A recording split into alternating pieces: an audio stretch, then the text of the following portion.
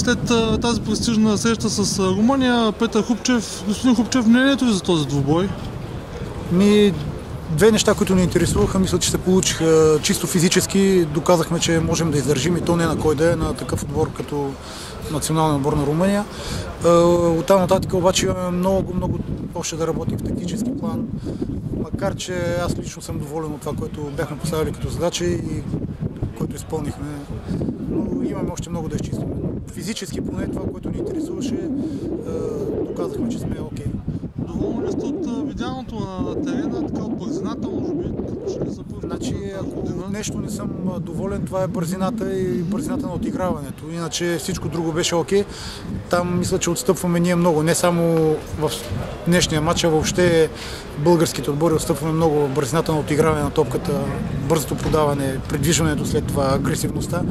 Там ще опитаме да подобрим някои неща. Ще стигне ли времето обаче, приближава първата среща? Е, то времето никога няма да кажем, че ни е стигнало, но ще се опитаме да стигне. Благодаря.